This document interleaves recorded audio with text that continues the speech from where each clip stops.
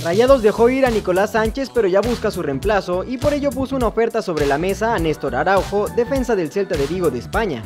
El mexicano quiere seguir en Europa pero no está conforme con su contrato en Celta y estaría analizando regresar al fútbol azteca si hay una buena oferta.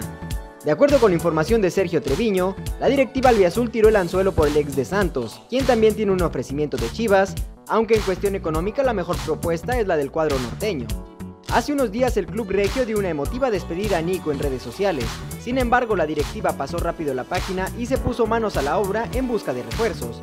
Vio en Araujo un buen sustituto para el argentino en la zona baja del campo. La situación de Araujo es completa pues llegó a Europa con el Celta en junio del 2018 y firmó por 5 años.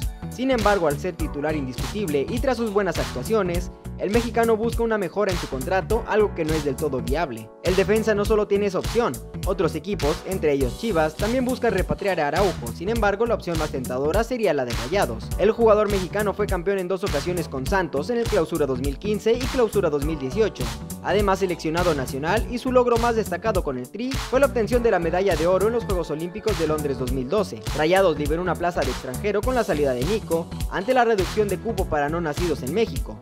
Duilio Davino, presidente de Rayados, dejó en claro hace algunos días que habrá salidas y buscarán refuerzos, entre ellos algunos mexicanos. Viene Néstor a Rayados, con información de Sergio Treviño para Once Diario, Jaime Mar.